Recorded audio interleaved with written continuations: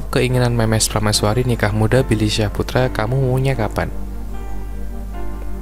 Kisah asmara presenter Billy Syahputra dan penyanyi Memes Prameswari hingga kini masih jadi perhatian publik. Menjalin kedekatan sejak putus dari Amanda Manopo, Billy Syahputra rupanya sudah mulai berani membuka hatinya untuk Memes Prameswari. Bahkan di kadang-kadang hubungan Billy Syahputra dan Memes Prameswari sudah mengarah ke jenjang yang lebih serius.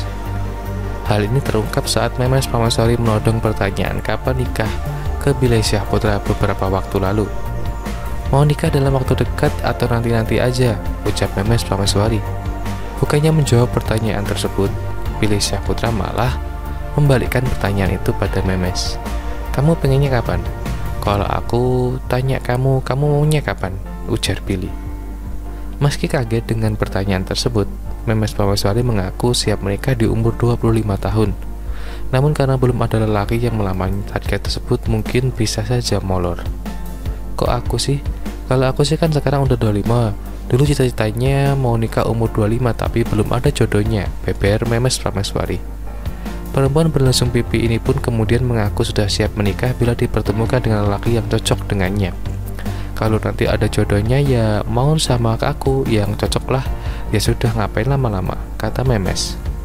Seolah siap melamar Memes Ramaswari, Billy Syahputra meminta perempuan cantik itu untuk bersabar. Kalau aku sih seperti air mengalir aja, ke depannya seperti apa ya jalanin aja seperti apa yang kita jalanin sekarang, ucap Billy Syahputra.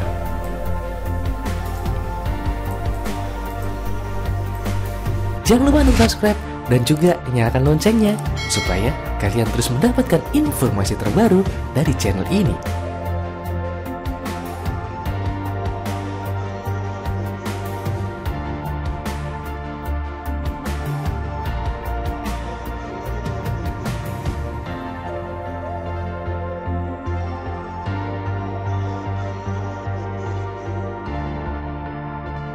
Mahalini jawab kabar pacaran dengan Billy Syahputra.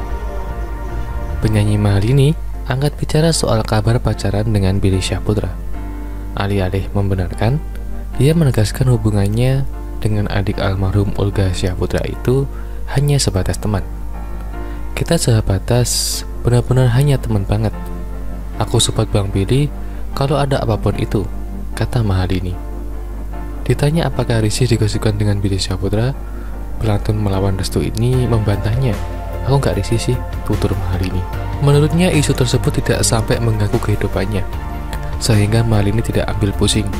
Selagi dia nggak mengganggu, dalam privasi dan mental aku gak jadi nggak mengganggu, ujar ini.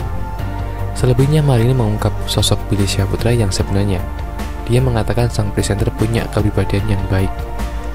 Baik, royal, seru, ungkapnya. Sebagai penutup, Perempuan asal Denpasar Bali ini mengaku masih berstatus jomblo. Dia belum mempunyai pacar. Aku nggak punya pacar, jomblo, tandasnya.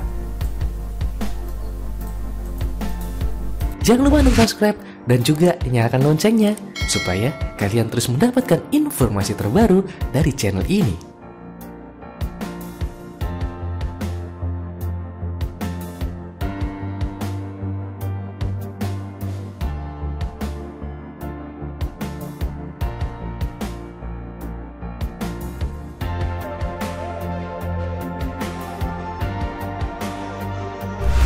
Wasiat mendiang Olga Syahputra terwujud intip penampakan musola impian kakak Billy Syahputra.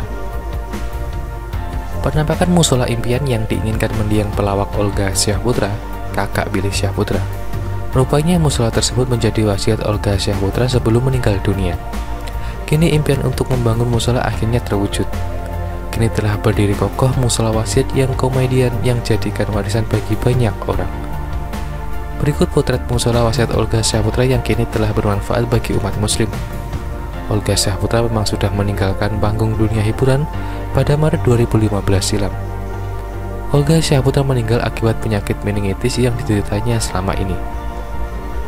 Olga Syahputra memang sempat mengeluarkan wasiat semasa hidupnya untuk menjalani perawatan insentif kala itu. Salah satu wasiatnya adalah dirinya ingin membangun sebuah masjid atau musola. Kini Masjid Olga Syahputra itu dibangunkan sebuah masjid atau musola setelah kepergiannya benar-benar dikabulkan keluarga besarnya. Musola bernama Birul Walidain Olga Syahputra tersebut telah berdiri di tengah pemukiman warga di Jalan Raya 25 Swadaya Raya nomor 50 RT 7 RW 5 Kelurahan Duren Sawit, Kecamatan Duren Sawit, Jakarta Timur.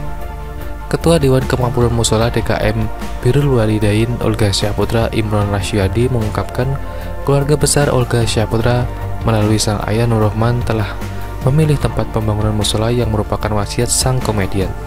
Jadi Olga ketika masih dirawat berpesan kalau pas dia enggak udah, hartanya diwakafkan untuk bangun masjid atau musola, ujarnya.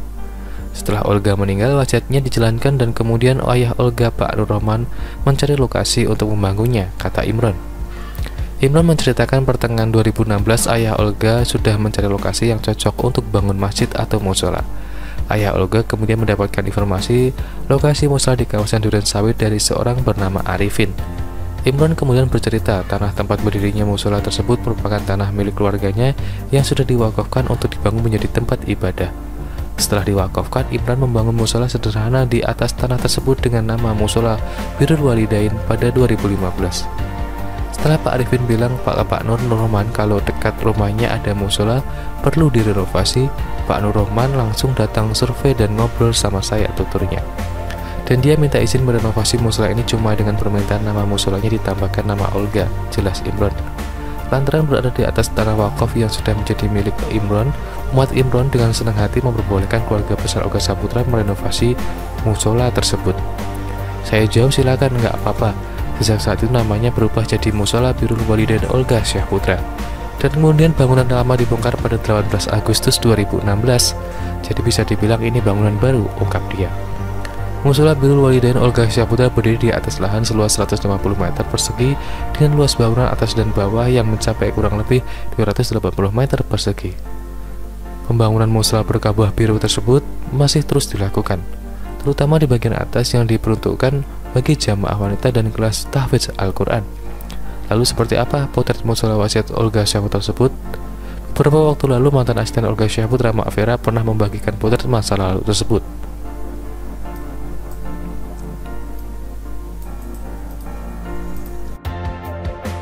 Terima kasih sudah menonton video ini. Jangan lupa untuk like, komen, dan subscribe. Thank you.